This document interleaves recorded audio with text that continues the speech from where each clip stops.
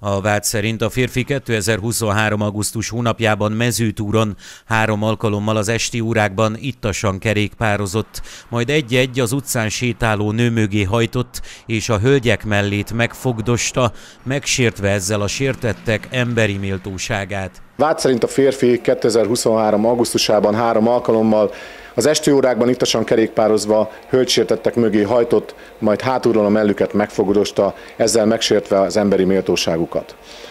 A mezőtúri járásbíróság a vádirattal egyezően a vádlottat végrehajtásában próbaidőre felfüggesztett szabadságvesztésbüntetésre ítélte, egyben elrendelte pártfogó felügyeletét. Az ítéletet a vádlott is tudomásul vette, így az jogerőre emelkedett.